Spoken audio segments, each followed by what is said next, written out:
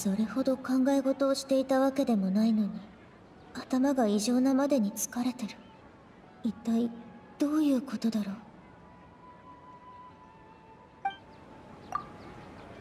う？目の前で起こっていることがまるで以前にも経験したことのあるような感覚。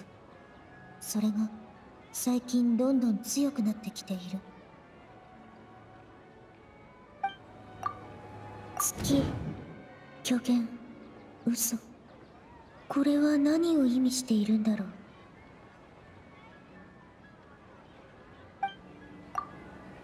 大賢者はせいぜい神の生誕を祝うがいいと言っていたけどこの言葉に深い意味はあるのだろうか？いや違う。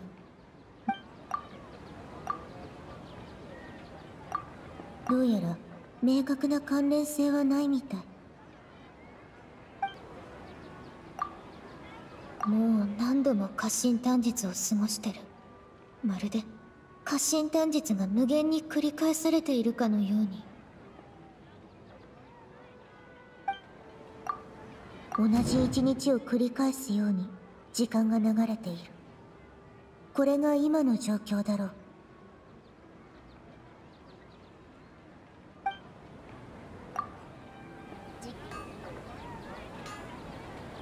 スメール人は夢を見ない。奇妙な現象だ。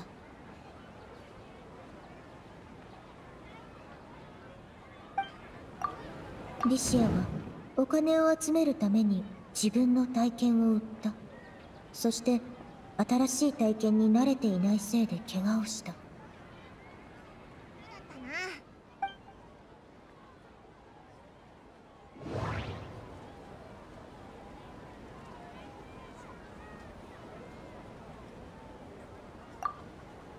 アーカー社は神の心によって稼働していて知恵の神の力を具現化した姿。全ての民の英知を束ね人々に知識を授けている。そうナヒーダは言っていた。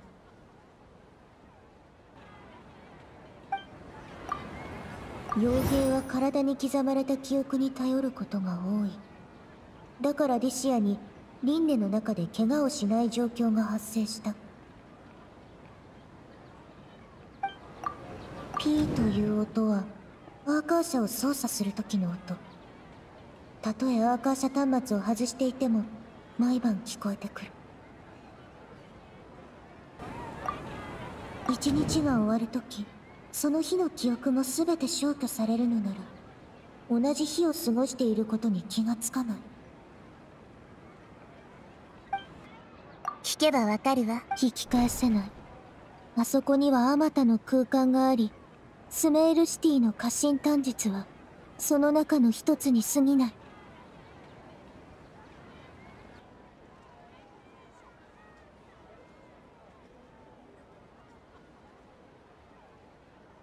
引き返せない。あそこにはあまたの空間があり私たちがいるのはただ。また一つの空間に入った。流れる砂岩号泣する魚。存在するはずのない風景。これらの空間はいずれも内部に人がいないか無言の人形がいるだけ。人間の存在は感じない。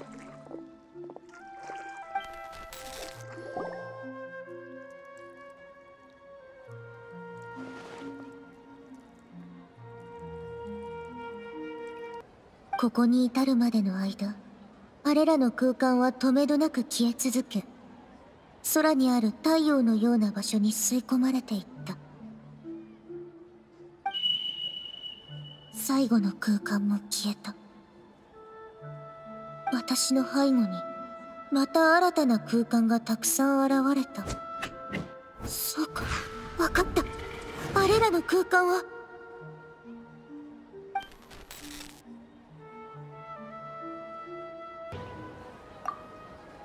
ティの外に行ってから異様な光景に包まれた空間を数えきれないほど見た。あれらの共通点はどれも人の気配がないということ。まさかあの空間こそが現実？でも現実空間があのように消えてしまってはまずいのではないだろうか。記憶にある限り一日の終わりにはいつもアーカーシャの音が鳴っていた。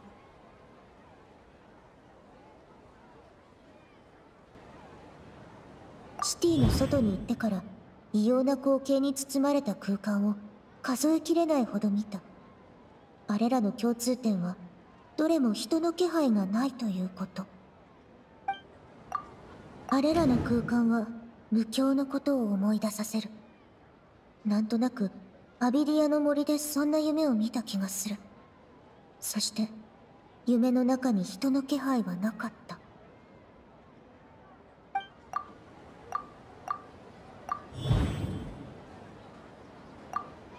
私たちは夢の中にいる。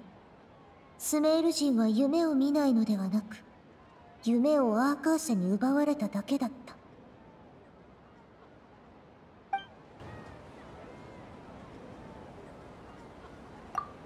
アーカーシャは神の心によって稼働していて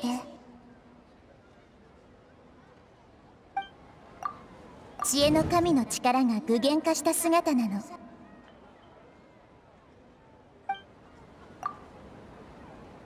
全ての民の英知を束ね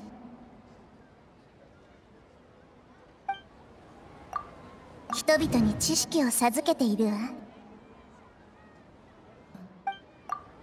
目の前で空間が止めどなく消えていきアーカーシャから音が鳴った後さらに多くの空間が生まれた。あれらの無境は止めどなく消え続けアーカーシャから音が鳴った後さらに多くの空間が生まれた。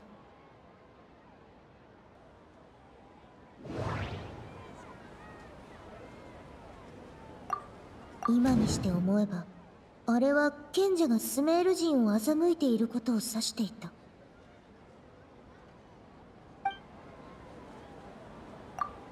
今にして思えば虚言は私たちの夢の現状を暗示するものだった。いや違う。も錬金占いは神の啓示だと言っていたけどナヒーダは自分を月と比喩していた。つまり。